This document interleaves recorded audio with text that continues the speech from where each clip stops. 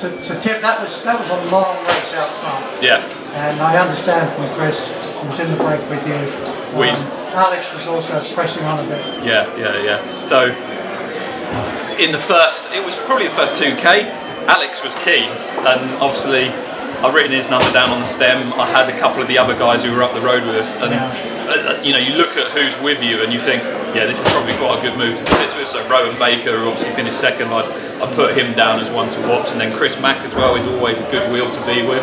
Um, so yeah, it was like I saw who was there and thought, yeah, let's push on. So I saw I was probably one of the.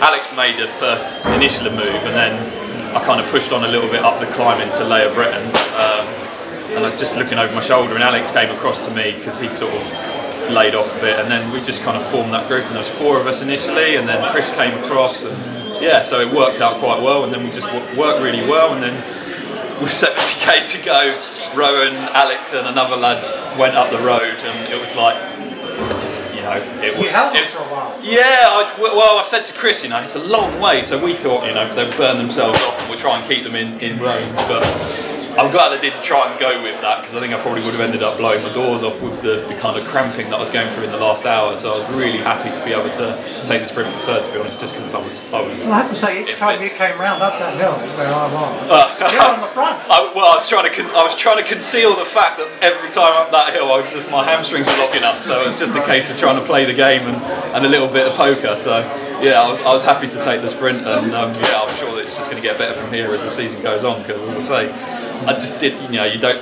when you've had a couple of days off the bike, you just don't have that ability to keep pushing through. I So- guess you have that freshness. yeah, I had so yeah. It's, it's a toss up of the two, isn't it? So I was, I was fresh and mentally well up for it. So that was I was able to really focus. But yeah, it was nice. And I mean, credit to Alex. Like, he's I mean, he's obviously always going really well. But that was a super strong ride. Like, um, Rowan, Rowan said he just Well, having, went- having won Lincoln like that. Yes, absolutely, absolutely, and obviously he's got a target on his back as well, so everyone knows he's the wheel to follow.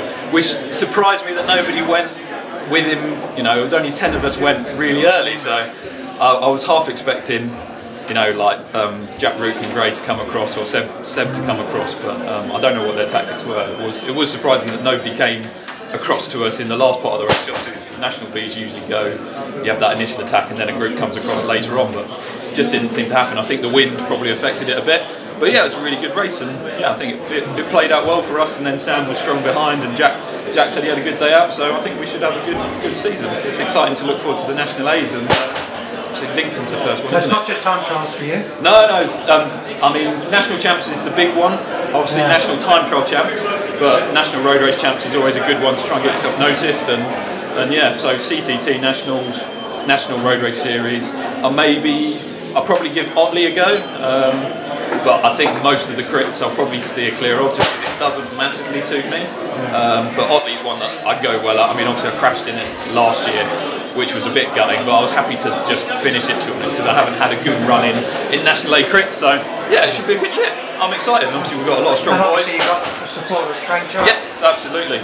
Um, Yeah, I mean. they've got a nice little link team there. Yeah, yeah, yeah. I mean, the Oro bike's fantastic. Like so stiff, so light, really aero. So yeah, that was that was really nice to ride today. It feels like the first proper time that I've actually been able to race it properly. I got a few races in last year, but it's sort of been in and out with illness and just yeah. So I feel like I've got everything starting to go in the right direction. Good way to start the year. Absolutely. Yeah, yeah, yeah. Cool. I look forward to getting trophy. Yeah.